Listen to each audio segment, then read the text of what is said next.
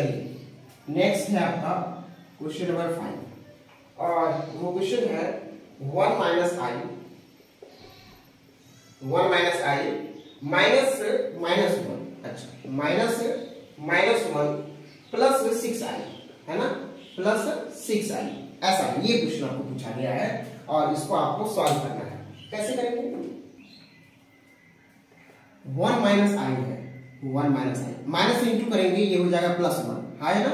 और इसको करेंगे, ये हो जाएगा माइनस सिक्स आई अब प्लस और सॉरी माइनस माइनस, यहाँ प्लस प्लस टू हो गया ये। और माइनस माइनस प्लस हो गया, ये हो गया बन करके सेवन आई। यानी कि टू माइनस सेवन आई, ये भी देखिए आपका ए प्लस आई बी के फॉर्म में आ गया।